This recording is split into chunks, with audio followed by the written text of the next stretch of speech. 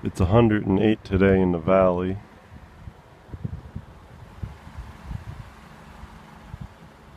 And it's quite different down here. I wanted you to see this, what 108 looks like. Because in a couple seconds we're going to be... So I guess this is vlogcast number two.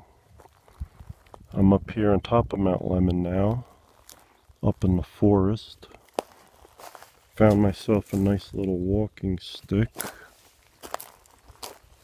There's a lot of nice rocks up here, nice colors, a lot of red. So we're up in the forest, walking around.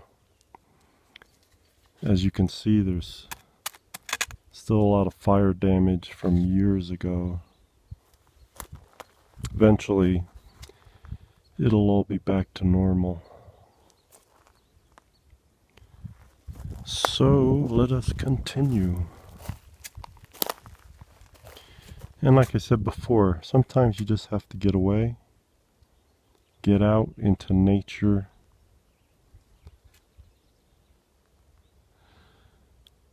and uh, just relax.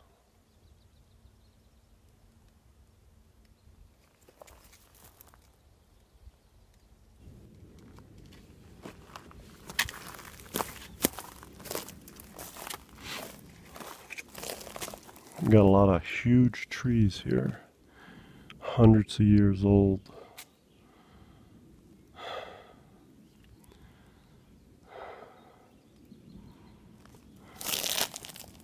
Got a lot of pine cones on the ground. It's a lot cooler in shade than it is out in the sun because it is 97 up here, which I can't believe it is what it is.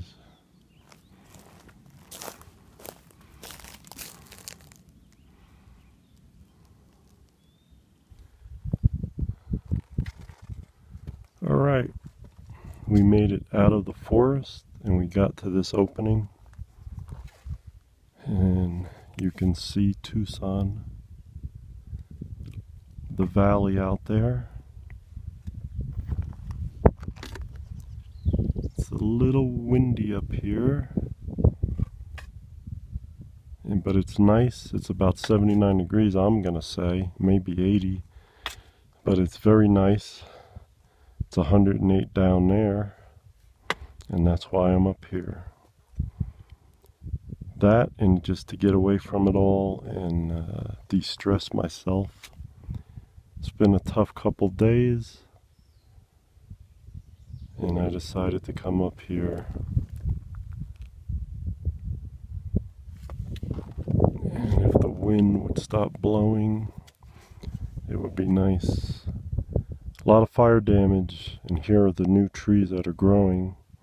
Eventually they'll be all over the place here and take the place of these burnt ones. So maybe I'll just sit on this log here and relax for a while. Hope you enjoyed it. Vlogcast number two. Out.